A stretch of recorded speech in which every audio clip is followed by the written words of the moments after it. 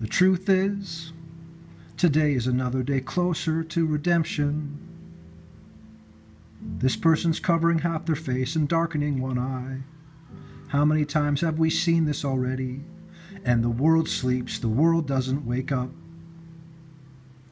Maybe they're going to drink some coffee out of their favorite coffee cup that just so happens to be the Freemason checkerboard. No, seriously, how many people have taken a bite out of that apple? Sure seems like a lot. Contrary to what a lot of people believe, I don't hate these people. I don't want one to go to hell.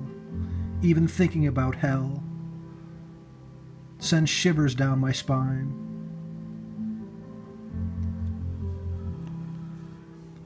Oh, how nice. They're faking space again. If you think you've been lied to just a little bit, the truth of the lies is staggering. Hey, that's an interesting pattern there. Well, we're in the last days. The enemy's talking about the rapture too. Except most of us know that the aliens from space don't come from space.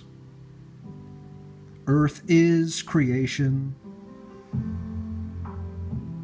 So, brothers and sisters, we will sing a new song someday, someday soon.